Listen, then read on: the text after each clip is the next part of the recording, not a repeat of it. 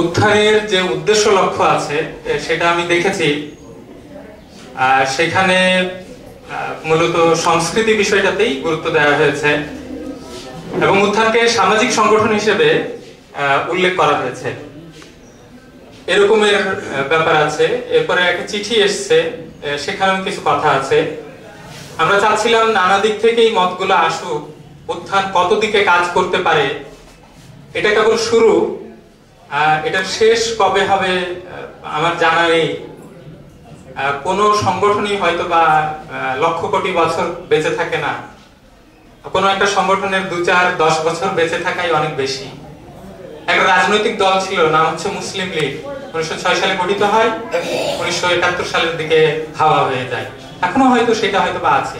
মানে একটা সংগঠন দশ বিশ বছর থাকাই অনেক বেশি। তো উত্থান আজকে শুরু করছে উত্থানের শুরুটা হয়তো সুন্দর না, শেষটাও হয়তো বা সুন্দর হবে না। মাঝখানে যদি কিছু কাজ করে ফেলা যায়, এখানে যে অল্প কয়েকজন মানুষ আমরা আছি, তারা যদি একত্রিত হতে পারি নানান জনের নানা চিন্তা হতে পারে, কেউ রাজনৈতিক হতে পারে, কেউ অরাজনৈতিক হতে পারে, কেউ সামাজিক ভাবে কাজ করতে পারে, কেউ সাংস্কৃতিক ভাবে কেউ পরিবেশগত দিক দিয়ে কবি শামসুল ফয়েজ বলে গেলেন নারী মুক্তির দিক থেকে কাজ করা সবগুলো জায়গা একত্রিত হোক না কেন, সমস্যা কোথায়? সমস্যাটা দেখি না আমি। উত্থানের যতটুকু কাজকর্ম করার ইচ্ছা আছে, তার ভিতরে সামাজিক কাজগুলো করা, যে অনেকগুলো মানুষের সাথে একত্রিত হওয়া, মানুষদের সাথে যোগাযোগ করে তোলা এবং সামাজিক সংগঠনগুলোকে শক্তিশালী করা। এরপরে সাংস্কৃতিক কাজগুলা। সংস্কৃতিটাও যদি দুই ভাগে ভাগ করা যায়, একটা রাজনৈতিক এবং অন্যটা হচ্ছে উৎপাদনের সাথে জড়িত যেসব ব্যাপার আছে সেইগুলাতে। তো রাজনৈতিক সংস্কৃতিটাকে বাদ দিলেও অরাজনৈতিক যে সংস্কৃতিগুলো থাকে, আমরা আর্ট অর্থে যেগুলোকে বলে থাকি, যে নাচ, গান, আবৃত্তি, আলোচনা মত বিনিময় ইত্যাদি মিলিয়ে যদি কাজগুলো করা যায়, সেটাও অনেকটা ভালো হবে। উত্থান একটা পত্রিকা করতে চাই, লিটিল ম্যাগাজিন অর্থে।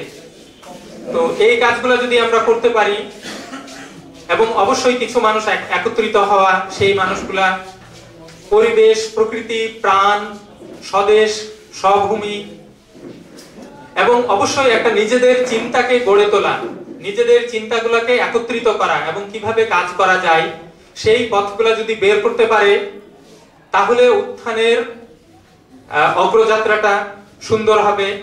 আমি আশা করব আপনারা সবাই যত দিক দিয়ে সম্ভব আমাদেরকে সহযোগিতা করবেন, পারস্পরিকভাবে যোগাযোগ রাখবেন, এক দুই দিনের জন্য না, কিংবা শুধু অনুষ্ঠান কেন্দ্রিক যোগাযোগ না আরও যতভাবে যোগাযোগ করা যায়।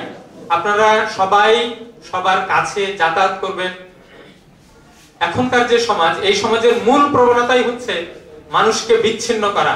এই বিচ্ছিন্নতাটাও যদি সামান্যতম কাটিয়ে উঠতে পারে, আমরা যদি সবাই একে অপরের সাথে জড়াতে পারি কাজের সূত্রে, তাহলেই উত্থান সফল হবে। আপনারা আপনাদের মতামত দিবেন। চিন্তার যতগুলা পার্থক্যই থাকুক না কেন, আমরা আমাদের কাজকে লক্ষ্য করে ঐক্যবদ্ধ হব। এরকমের জায়গা থেকে যদি আমরা এগোতে পারি, তাহলে আমাদের এই চেষ্টাটা সফল হবে। আপনারা এসেছেন, সবাইকে আমি ধন্যবাদ জানাই। আপনারা আগামী দিনেও আমাদের সাথে থাকবেন, এই বলে আমি আমার বক্তব্য শেষ করছি। সবাইকে ধন্যবাদ।